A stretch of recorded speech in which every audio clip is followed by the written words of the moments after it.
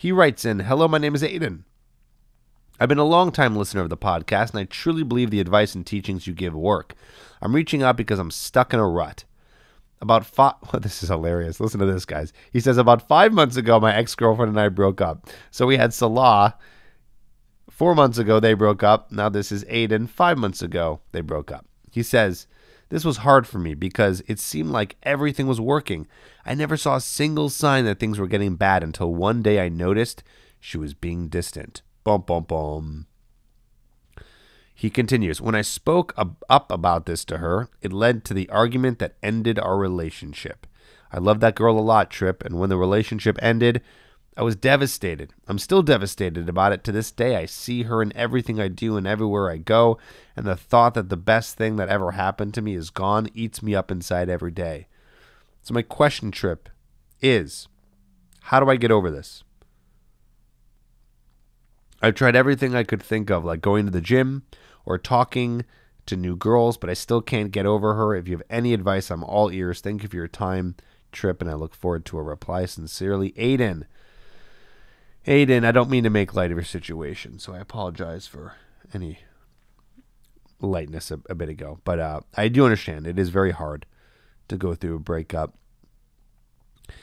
And we got to follow in the footsteps of the previous advice that I gave, which is we need to go no contact. I don't know if you did that. So you need to be doing that. So let's do a review of no contact. When you break up with a girl, the girl breaks up with you. Then you need to move on. I really don't truly believe you should be chasing after a girl and trying to get her back. I think it's best if you move on because what do we want to do, guys? We want to be with women who have a high level of interest in us. We don't want to convince them to like us.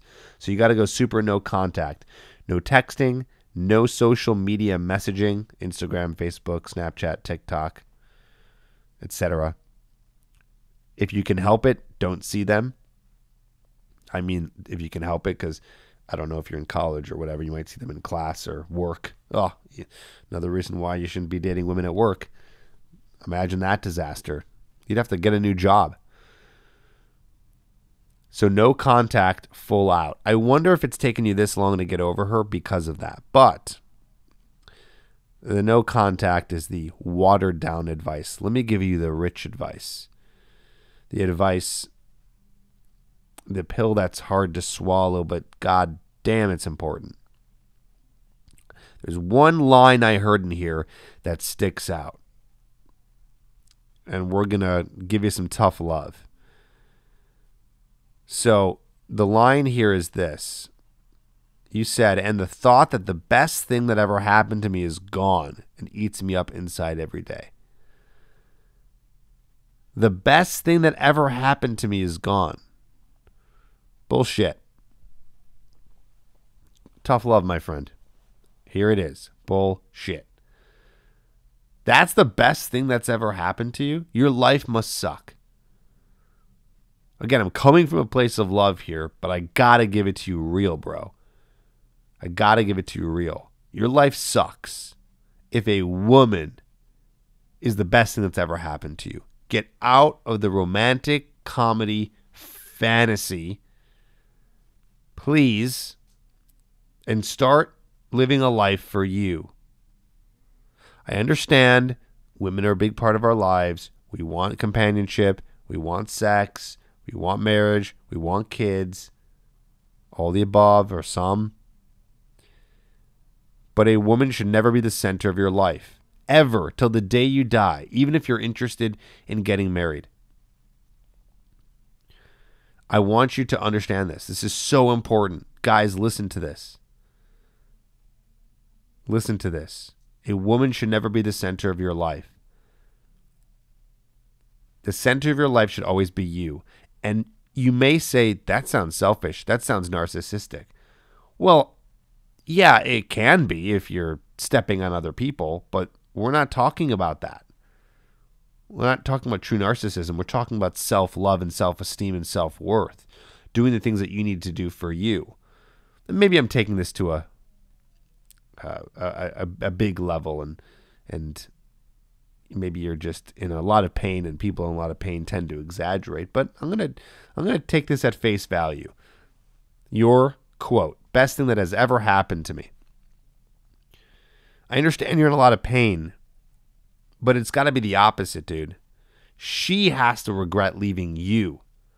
You need to be in a situation where if a girl ever breaks up with you, if a woman ever breaks up with you, divorces you, cheats on you, whatever it may be, breaks your heart, you need to be going, she's an idiot. I'm a catch. I'm the man. My life is awesome and I have so much value to offer, and she left me, divorced me, cheated on me, left for another guy. Good luck. Good luck, girl.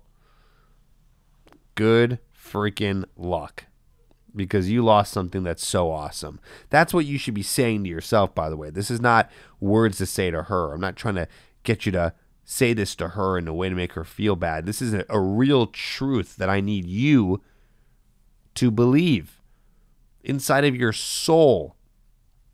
Like I know inside of my soul. And by the way, I had to work up to this. This is not something that I was born with. I'm like you. I needed to figure this out for myself, my own self worth, self esteem, all that stuff. I had to figure that out. Where now I've gotten to the point where if my girl Megan, if she ever left me or for another guy or broke up with me or whatever, I would legit be, yes, of course I'd be hurt. I would be sad. I am a human being and, and I will be suffering from a loss. But I will still be thinking of, well, her loss because I would rather be with someone who sees my value, who sees how amazing that I am, because I truly am that and believe that and have worked up to that. Now, Aden, you might be on the younger side. I'm just kind of guessing by the way you, have written this. So maybe it's going to be time till you build up your value and you build up to the point where you are a guy who is proud of his life, thinks he's awesome. And again, for you, not for women. I said that earlier. And it might take a little time to get there. That's okay. Men age like a fine wine. We peak in our later years. We're a little bit more physically attractive. We've gathered more resources. We've gotten more uh, higher social status. We've become smarter. We've accomplished big goals. And that stuff takes time. And that might be the case for you. It was for me. Absolutely. I had to work on those things, and I believe you can too, and a lot of guys do too. So, Aden, how do you get over this? Is your question? No contact? and I would start to date other women. You said uh, I've tried everything I could think of, like going to the gym, talking to new girls.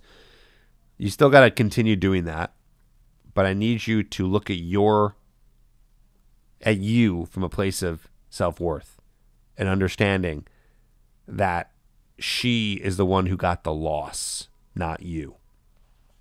It's all in the mindset.